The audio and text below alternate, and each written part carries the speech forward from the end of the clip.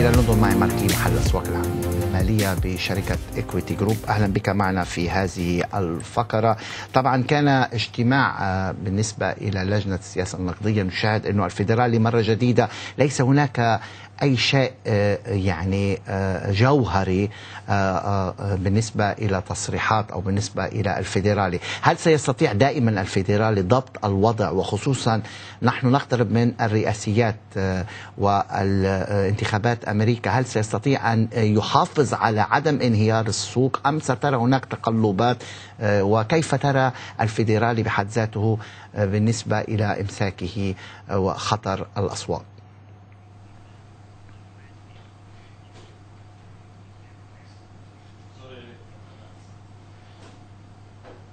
Good afternoon.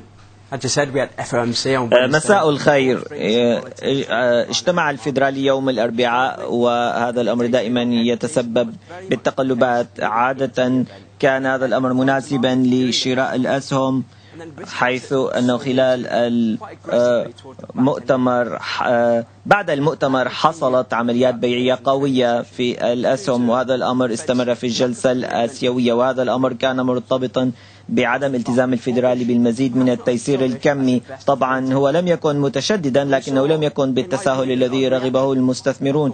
وبرأيي كان هناك مبالغة في ردود الأفعال. أعتقد أن باول كان متفائلا بالاقتصاد وحسن توقعات النمو الاقتصادي والتوظيف وكان هناك آه، آه، تزايد في مبيعات التجزئة. كل هذه إمارات أو إشارات إيجابية للشراء عند الانخفاض في الذهب والبورصة وبرأيي ليس هناك ما يتسبب بكسر هذا الاتجاه الذي نراه منذ فترة طويلة. شاهدنا أسعار النفط استعادت مرة جديدة مستويات ال 40 دولار وهي مهمة في هذه الفترة خصوصا مع المستجدات العالمية. ما هي العوامل التي ستؤثر على المدى القصير في الجلسات القادمة؟ طبعا كان هناك إعصار سالي ومزيد من التطورات. هل سنصمد دائما فوق ال 40 دولار التي هي مهمة جدا للخامين لبرنت والخفيف؟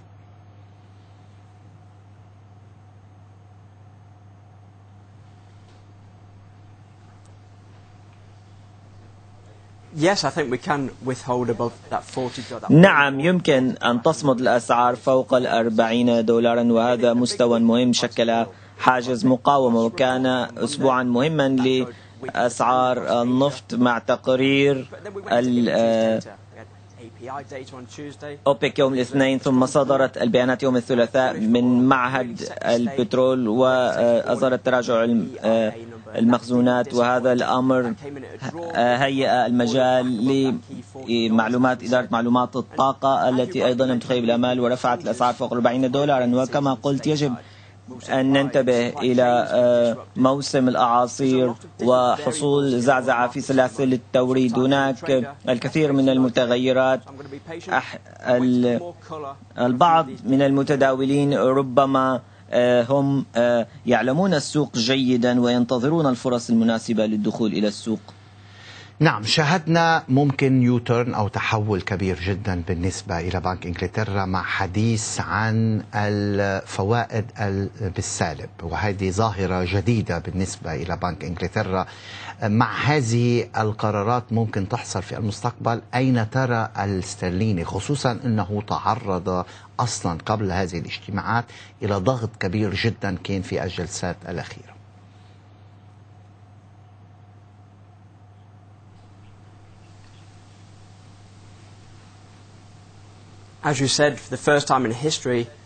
كما قلت للمرة الأولى في التاريخ هناك آه، خيار لطرح فوائد سالبة ولا دخان بلا نار.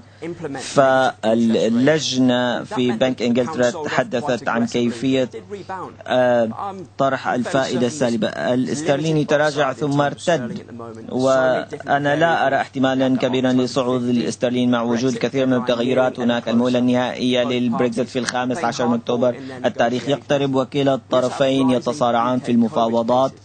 وهناك تزايد في أعداد الإصابات في فيروس كورونا في المملكة المتحدة وهذا الأمر يمكن أن يؤدي إلى حالة إغلاق عام وهذا الأمر يؤثر على الاقتصاد. أعتقد أن الاسترليني سوف يسجل حالة من الهبوط مقابل معظم الأزواج الرئيسية الأخرى.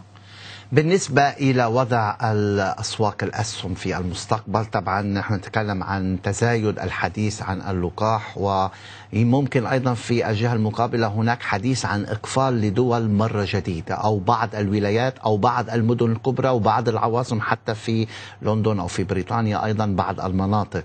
آه، كيف ترى هذا التباين مع تسارع للحصول على اللقاح؟ وفي المقابل أيضا تزايد الإصابات وتأثيره على سوق الأسهم.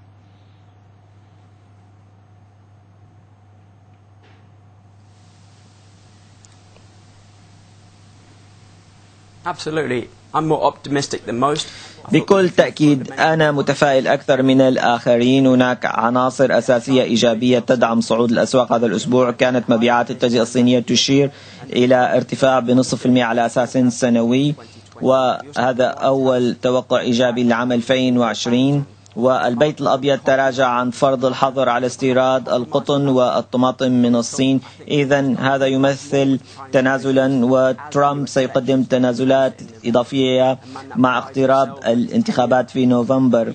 وهو يريد أن آه، يشعر بالفخر تجاه الأداء الاقتصادي.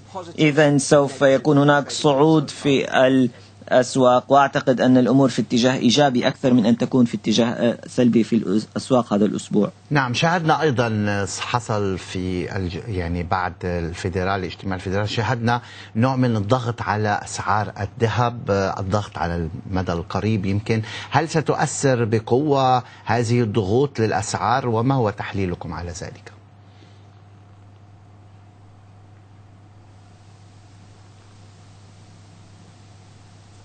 I think the gold uptrend is fully intact. We had the أعتقد أن الاتجاه الصاعد في الذهب لا يتأثر. صدر الدوت بلوت من الفيدرالي الذي أشار إلى أن الفائدة ستظل منخفضة حتى 2023 وآخر مرجعية لنا كانت الأزمة المالية حيث ظلت الفائدة منخفضة لعدة سنوات وأتوقع أن يكون وضع مشابها هذه المرة. أنا متفائل تجاه أسعار الذهب. لم يكن هناك أي شيء صدر من الفيدرالي سيؤذي أو يضر بهذا الاتجاه الصاعد في الذهب على المدى المتوسط والطويل.